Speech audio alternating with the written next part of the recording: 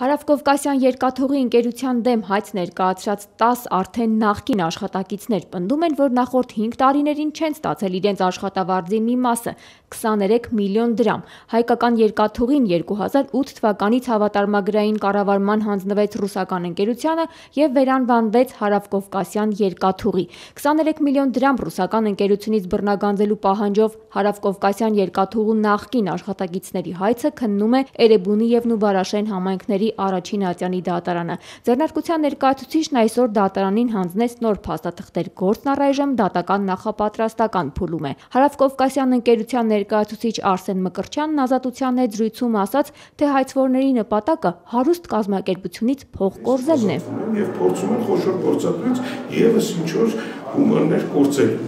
Այսինքն հայցի նպատակը ոչ թե արդարության վերականգնումն է, ոնց որ որ կարող է չիմացող մարդուն թվալ կողքից դիտողին, այլ իրականությունը կայանում է նրանում, որ այս հարուսներից մի բան էլ վերցնենք։ Հայցվորների զարմացեց իրենց պնդմամբ ձեռնարկության հետ նախորդ տարիներին ֆինանսական վեճեր ունեցած ներկայացուցչի տեսակետը։ Նրանք պնդում են, որ ընկերությունը խախտել է աշխատանքային օրենսգրքի մի շարք դրույթներ, ինչ հարուստ ձեռնարկության մասին է խոսքը։ Մենք մեր փողերն ենք ուզում, ասացին հայցվորները։ Չէ, իհարկե հիմքեր ունենք, մեր գումարներն ենք ուզում։ Դա ասացվածքի նման լավ ձև ասեմ, էլի ասում ագահը ուրիշի փողերը հենց հածախսում ոնց որ ուրիշին է լինի, իսկ իրա փողերը հենց հածախսում ոնց որ իրան է լինի,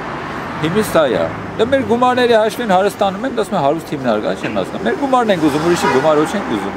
Իրանք լրիվել վախտին դա ընդունել են, ուղղակի արհեստական հաձակ ձգում են։ Հայցվորները պնդում են, որ աշխատավարձերի մի մասը չվճարելու հետևանքով տուժել են նաև դատական հայց չներկայացրած աշխատակիցները։ Մենք 10 հոգի ենք 10 հոգու մեջ որ այսքան գումար է բռնել 23 միլիոն։ Իսկ դուք պատկերացրեք 200 հոգուց ավել աշխատող կա։ Ավել։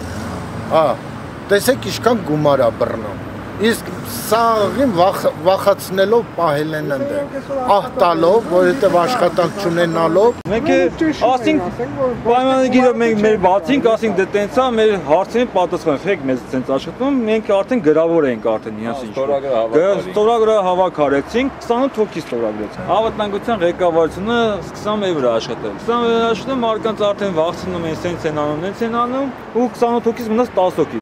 Ընկերության մամուլի խոսնակ Վահե Դավթյանն ազատությանը փոխանցեց, որ ընկերության ղեկավարությանը հայտնի չեն աշխատակիցներին վախեցնելու փաստեր, ասաց, եթե լինեն ապացույցներ, ձայնագրություններ, կուսումնասիրեն եւ կպատասխանեն այդ մեղադրանքներին։ Ընկերության նախկին աշխատակիցները նաեւ նշում են, որ ձեռնարկությունը առանց որևէ իրավական հիմքի նվազեցրել է գիշերային եւ արտաժամյա աշխատանքի փոխհատուցման գումարները։ Պարզվում է, ռուսական հավատարմագրմանը հանձնված ընկերությունը մարդկանց աշխատանքի վարձատրությունը հաշվարկել է օրական 22 ժամի դիմաց։ Մյուս 2 ժամը համարել է ընդմիջման ժամ։ Թեև մարդիկ այդ 2 ժամի համար նույնպես կրել են պատասխանատվություն, բայց ընկերության իրավաբանն ասում է արհեստական են հայցվորների հիմնավորումները։ Վեճեր են ստեղծում, ստեղծում են արհեստական վեճեր, երբ որ դատական պրոցեսների միջոցով փորձում են վերականգնել իբր թե իրենց խախտված իրավունքները։ Լավ, դուք ընդունում եք փաստը, որ աշխատակիցները նշել են, որ ի սկզբանե 22 ժամով է հաշվարկվել օրվա աշխատանքային, դա ընդունում եք, որը հետո ուղղել է։ Ձեր տված հարցերը մի քիչ վերաբերում են բուն գործի էությանը, ես չէի ուզենա դրանք բացահայտեի,